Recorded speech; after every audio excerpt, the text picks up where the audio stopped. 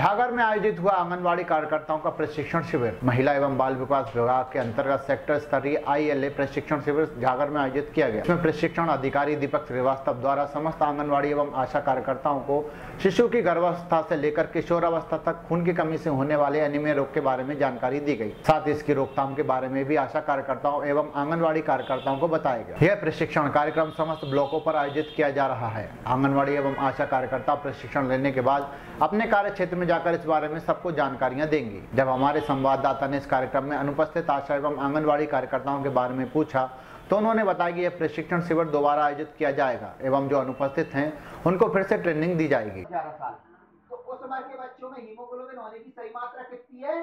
साढ़े ग्यारह। साढ़े ग्यारह। ठीक है। और इसके बाद बच्चा कहाँ पहुँचता है? मिडिल स्कूल में। तो मिडिल स्कूल में जो बच्चे होते हैं वो लगभग लगभग क्या होते हैं? ग्यारह करता हो। ये तो हमारा एसआई भी बता देगा कि खून की कमी पे एनीमिया कहती लेकिन हमें इसमें कुछ तकनीकी पुट देना है। हमें कुछ तकनीकी बात कहना है तो क्या हो सकती है तकनीकी बात?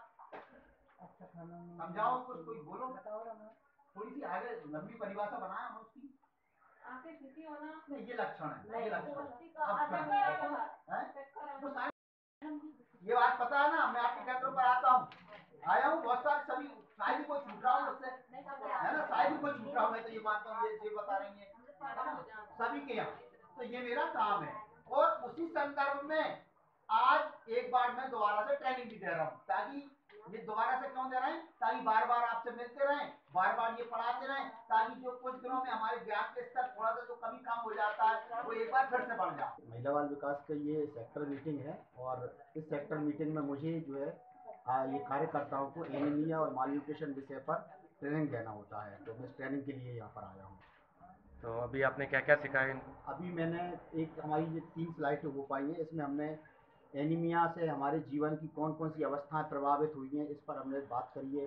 एनीमिया क्या होता है इस पर हमने से तकनीकी जानकारी दी है। ये और आने वाली स्लाइडों में हम और आगे पढ़ाने वाले हैं। अच्छा करीब कितने कार्यकर्ता हैं अभी?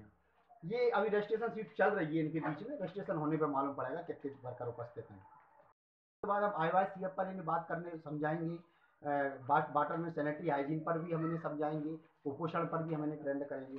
तो इनके लिए तो हम दोबारा से जो एक तारीख को जो सेशन करने वाले हैं ये उसमें हम दोबारा पहुँचेंगे जो हमारे एबसेंट रह गए हैं उनको वहाँ पे समझाएँगे।